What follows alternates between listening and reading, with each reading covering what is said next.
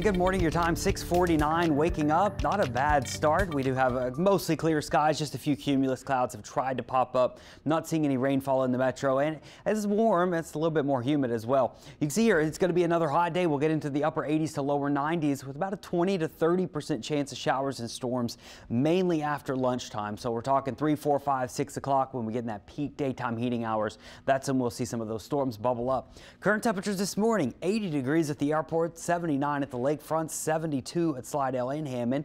Gulfport, you're at 73 and some upper 70s as you get a little bit closer to the coast.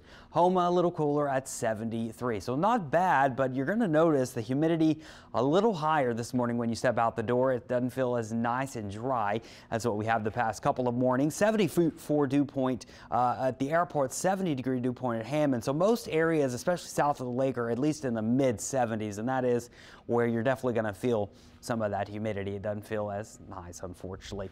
Live radar, though, not really looking at any rainfall in the area currently. We were tracking a few showers, uh, downpours just to the south of the coast and kind of south uh, in the lower bayou parishes down towards Port Fourchon, Cocodrie, Chauvin. You were seeing a downpour earlier. A lot of that really has kind of cleared up. These will pop up and then they'll kind of rain themselves out pretty quickly. And that'll be the story as we go throughout today. Not everyone's going to see the rainfall, but there is that chance of seeing some of the downpours. So by 1, 2 o'clock, notice models popping up a few of those downpours across the, uh, the lake and north and south of the lake. That story continues as we go throughout the afternoon, so don't be surprised if you see a downpour or two this afternoon.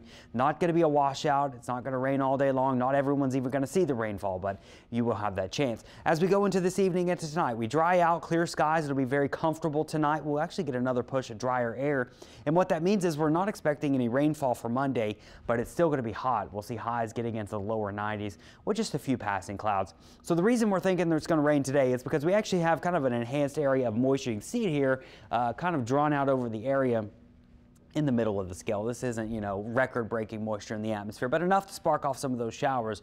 But what will be happening as we go into tonight and Monday is we're on the back end of this upper level low. Imagine the winds around this are counterclockwise. It'll push some of this drier air from the north down in. You see that plume of moisture today. It's going to head towards Texas. But there's that drier air continuing to filter in even through Tuesday and Wednesday. And what that means is we'll stay dry. It'll be hot, but we're not going to be dealing with those afternoon showers and storms. The deep tropical moisture fortunately staying well to our south. You can see here kind of this dividing line. That's that oppressive kind of the deep tropical moisture we saw earlier this week after the tropical storm moved on through. So our dew points will be going down after today, Monday, Tuesday, and Wednesday. Probably not going to be very bad. It'll feel a little bit more uh, bearable if you're going to be outside. Still hot, but not as humid. And then our humidity really goes up as we go into the back end of the week and into the weekend. This is how it should be this time of year down here. You know, when we get dew points in the 60s, that's really just a treat. Uh, not very often that it's that comfortable outside. Our high temperatures, though, staying hot. We'll see the lower 90s, so you still have to be careful if you're going to be outside. You might just not have to deal with, uh, or you might it might feel a little better if you're going to be outside with the lower 90s. No tropical development expected, so that is certainly some good news. And overall, our weather remaining very, very quiet as we go through the middle of June. That's how we like it uh, especially as we get, you know, more into the summer months. Usually we're dealing with those pop-up storms. Not the case other than today, but look at that, lower 90s. Fortunately, the mornings will be fairly comfortable in the lower 70s to upper 60s. Next rain chances come as we go into next weekend. Stay with us. We'll be right back.